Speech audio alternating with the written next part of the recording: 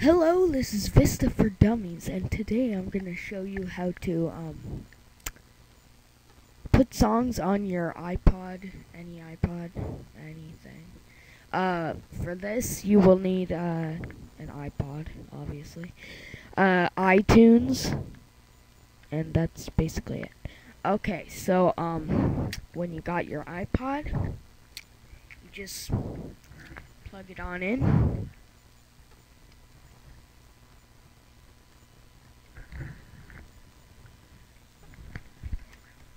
Sorry, I just dropped my iPod. Okay. So you'll hear this thing that goes Beow. So then it'll pop up saying cool guy or whatever you called it. Well, you know, it'll probably say iPod.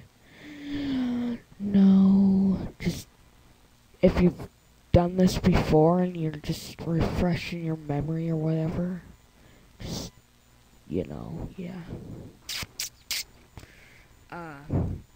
you can let it sync.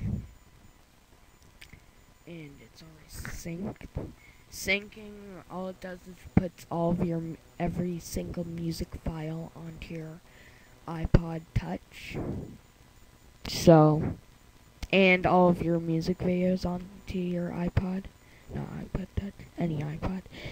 So, um, yeah. And if you want uh, where is it? You can just go here, sync, if you just want to sync the music, you cancel the sync, and then, um, at the beginning, and then you go entire music library, and then, and then uncheck this, then press sync. So yeah, that's basically how to put music on your iPod on the Vista. Well, same with the XP and now. Okay, bye bye.